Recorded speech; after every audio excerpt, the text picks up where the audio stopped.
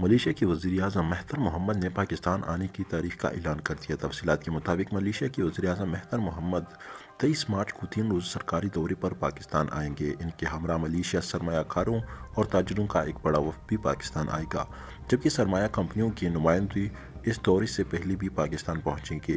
مہتر محمد اپنے عرصے اقتدار کے دوران محدد مرتبہ پاکستان کا دورہ کر چکے ہیں۔ تاہم یہ دورہ وزیر اعظم عمران خان کی دعوت پر کر رہی ہے۔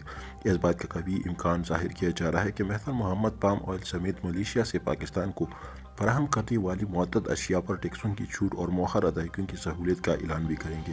اس حوالے سے سرکاری ذرائع نے بتایا کہ ملیشیا کی کم از کم بارہ بڑی سرمایہ کار کمپنیوں پاکستان میں سرمایہ کاری کرنے کو تیار ہے۔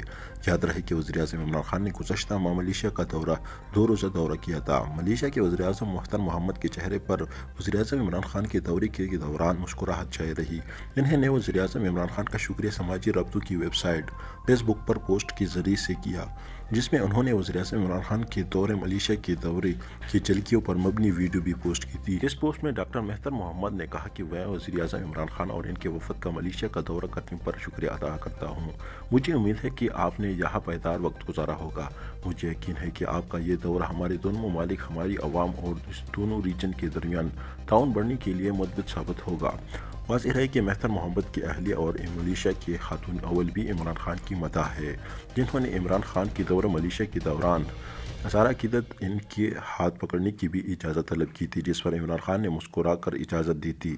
اور پھر ملیشیا کے خاتون اول نے وزیر اعظم عمران خان کا ہاتھ پکڑ کر تصویر بنوائی، جو سوشل میڈیا پر کافی وائرل ہوئی تھی۔